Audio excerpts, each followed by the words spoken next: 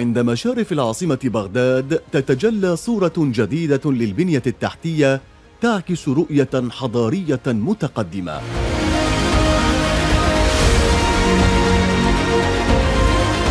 مشروع المدخل الشرقي للعاصمة بغداد ديالى الذي أنجز عن طريق وزارة الإعمار بإشراف دائرة الطرق والجسور هو أحد المشاريع الرائدة التي تعيد صياغة مداخل المدن في العراق.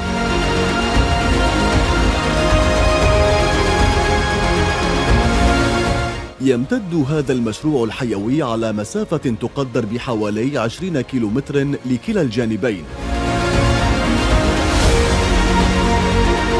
إذ شهد توسعة ملحوظة من عشرة أمتار إلى 16 مترا ليكون بمثابة شريان حيوي يسهم في تسهيل حركة المرور وتقليل الاختناقات المرورية.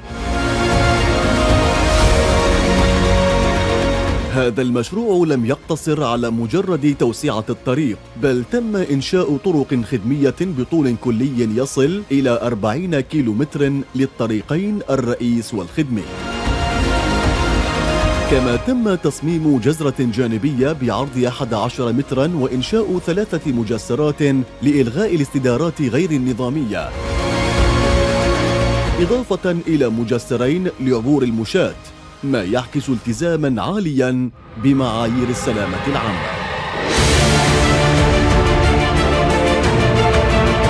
أما مشروع المدخل الجنوبي للعاصمة بغداد بسماية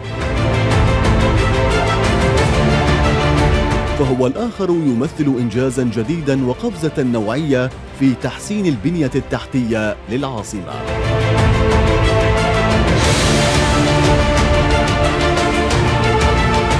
إذ تم توسعة الطريق الرئيس الذي يبلغ طوله الكلي 14 كيلومتر لممري الذهاب والإياب من 10 أمتار ليصبح 16 مترا.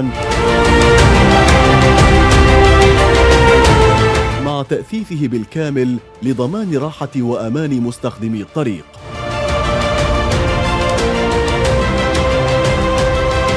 وما يزيد من أهمية هذا المشروع هو إنجاز طريقين خدميين بعرض ثمانية أمتار على طول الطريق.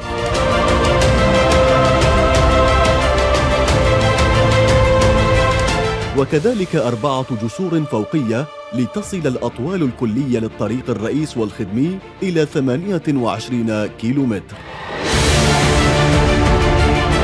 كما تم إنشاء ثلاثة جسور كونكريتية لعبور المشاة إضافة إلى جسر الرستمية الكونكريتي الذي سبق وأن افتتح أمام حركة السير. لم تكتفي دائرة الطرق والجسور بذلك بل اهتمت بأدق التفاصيل.